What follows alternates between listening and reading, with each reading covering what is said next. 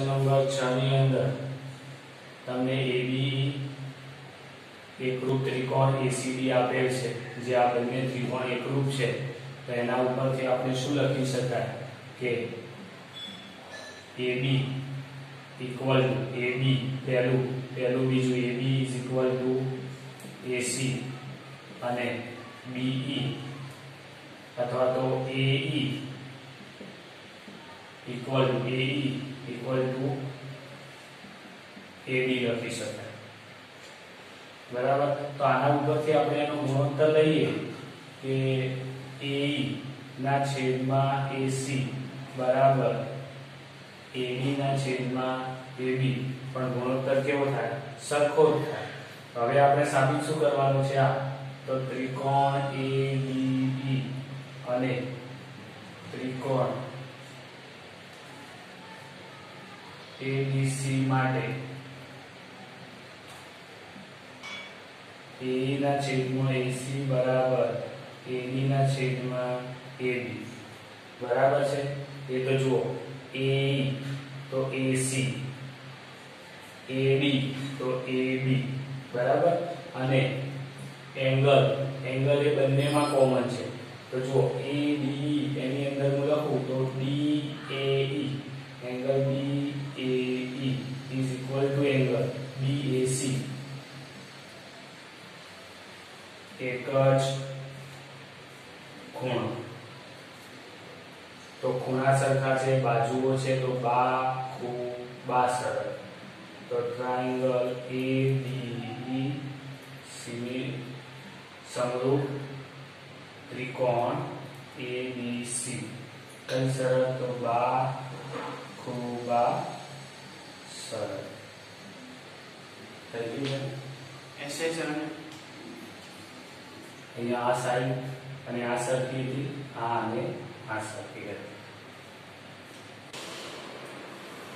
Triangle AEP જો ત્રિકોણ AEP એટલે આ નાનો ત્રિકોણ.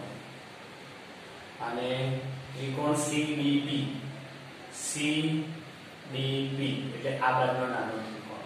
આટલા ત્રિકોણની વાત છે. કયા કયા? તો હું અહીંયા દોરું નાની આકૃતિમાં. કામ જાય છે.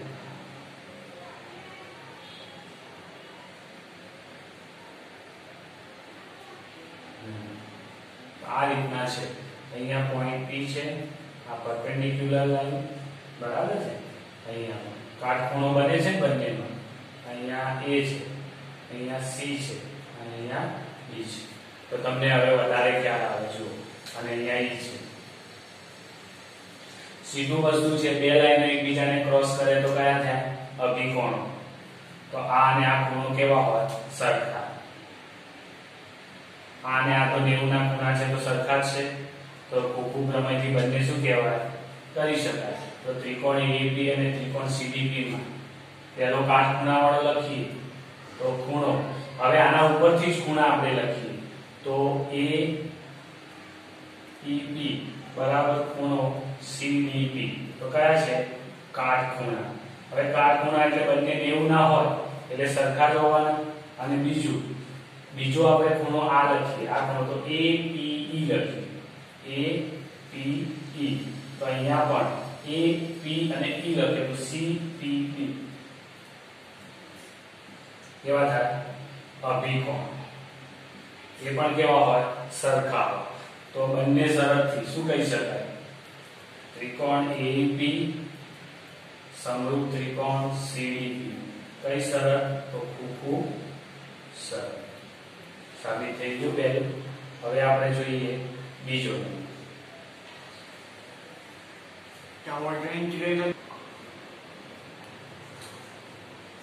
હવે બીજા નંબરમાં છે એ બી ડી એ બી ડી એટલે આખો આ ત્રિકોણ બને છે.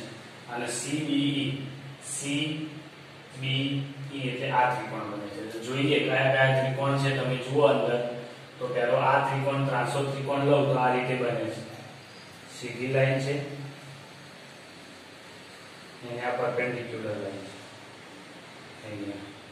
તો એ, બી બી બરાબર છે? એ, બી બી અને બીજો છે સી બી સી બી એટલે ઊભો ત્રિકોણ છે સી E B બરાબર છે?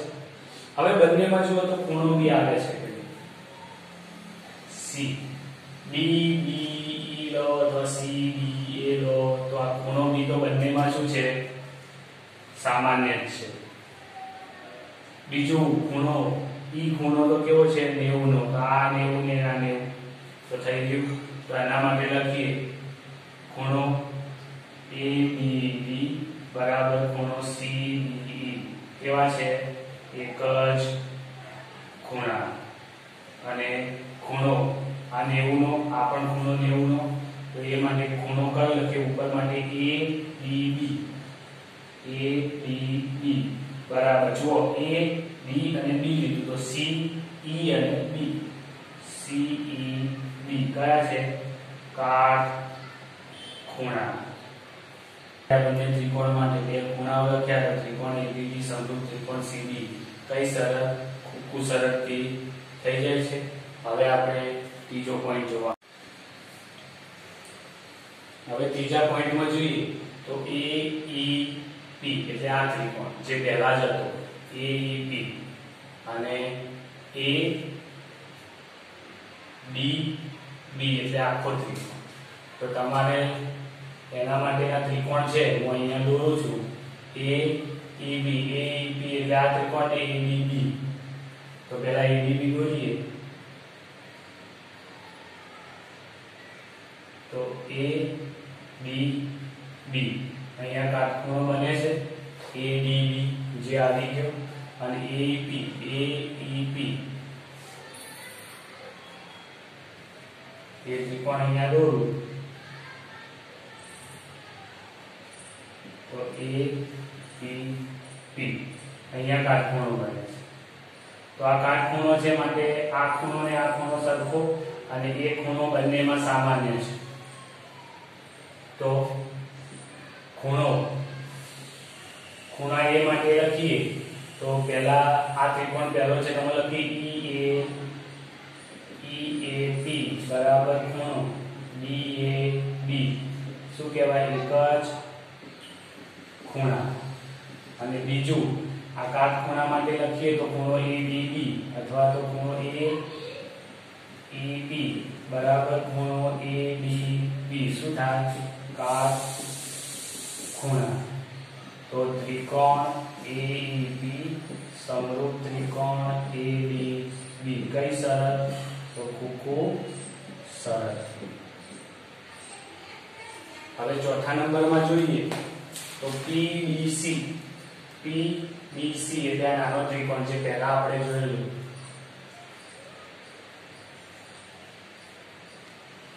જેમાં અહીંયા કાટખૂણો બને છે. P, B, C.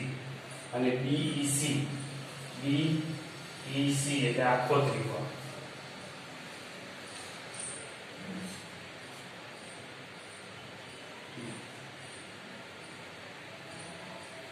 બરાબર છે?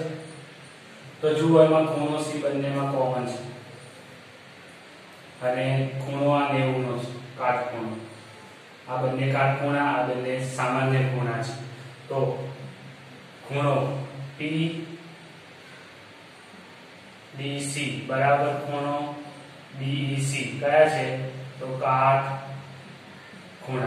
જે ત્રિકોણના નામ આપેલા છે, એ જલ્દી ખૂણા તરીકે લો. બરાબર? તો તમારે સારું પડે પીડીસી તો જુઓ. પીડીસી તો આ કાટખૂણો બીઈસી તો બીઈસી તો આ કાટખૂણો બરાબર? તો કાટખૂણા છે માટે સમાન આવ્યા અને ખૂણો સી તો બંનેમાં છે. તો ખૂણા સી માં લખો તો P C D P C અને ડી લીધો તો બી C E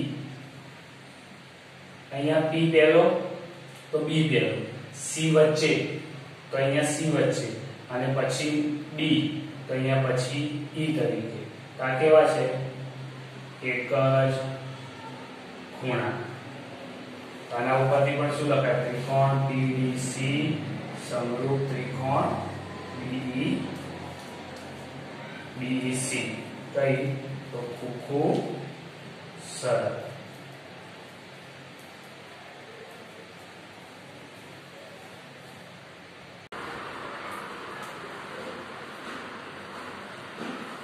તો સ્વાધ્યાય છ પોઈન્ટ પ્રશ્ન નંબર આઠની અંદર તમને એક ચતુષ્કોણ એ બી સી સમાંતર બાજુ ચતુષ્કોણ આપેલો છે.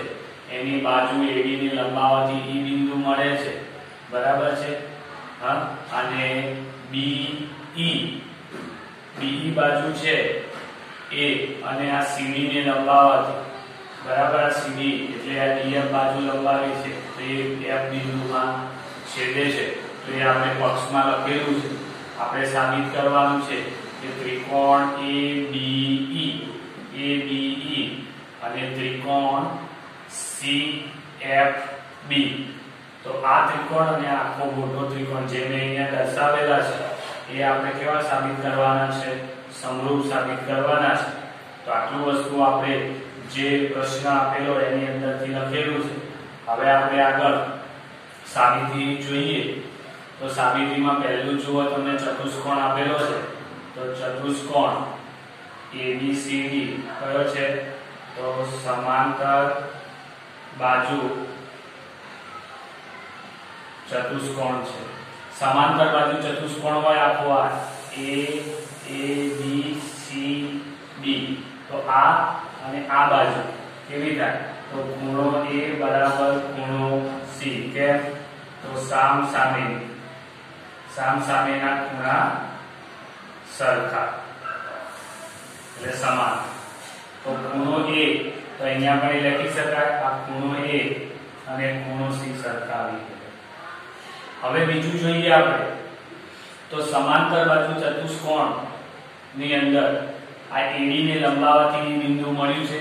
તો બાજુ એડી ને લંબાવવાથી બિંદુ ઈ મળેલ છે. એડી બાજુને લંબાવવાથી બિંદુ ઈ મળેલ છે એ લીધેલું છે આપણે.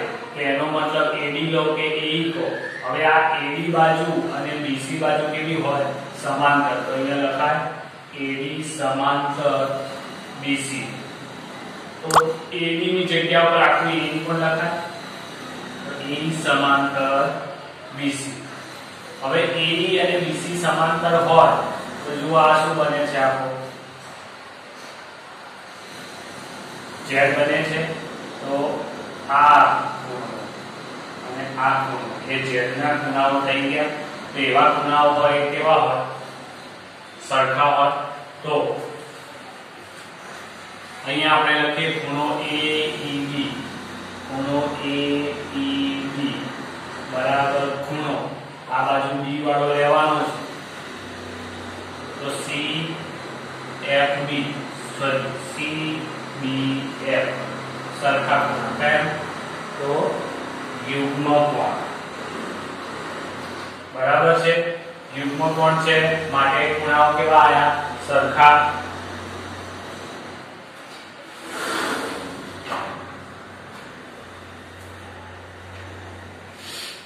તો આ યુગ્મ કોણ છે? માટે ખૂણાઓ સરખા છે. તો એનો મતલબ કે ખૂણો B અને ખૂણો E પણ કેવા આયા? સરખા. તો બે ખૂણાઓ પરથી ખૂબ સરળથી ત્રિકોણને કરી શકાય. તો એના માટે આપણે લખીએ કયો ત્રિકોણ તો ત્રિકોણ એ બી ઈ અને ત્રિકોણ CFB માટે કયો ખૂણો લીધો? તો ખૂણો બી બરાબર ખૂણો CBF બરાબર? એક એક કર્યું. અને બીજું ખૂણો એ બરાબર ખૂણો સી પણ એને આખું નામ આપીએ આપણે તો ખૂણો લખીએ આપણે હે તો BAE તો ખૂણો BAE બરાબર ખૂણો. BAE લીધો તો FCB તો FCB તો આના ઉપરથી શું લખાય? ત્રિકોણ ABE સમરૂપ ત્રિકોણ CFB બી કઈ સરળ કરી તો બંને ખૂખું છે? તો ખૂખું સરળ. તો આ બંને ત્રિકોણો આપણે સમરૂપ કરી દીધા.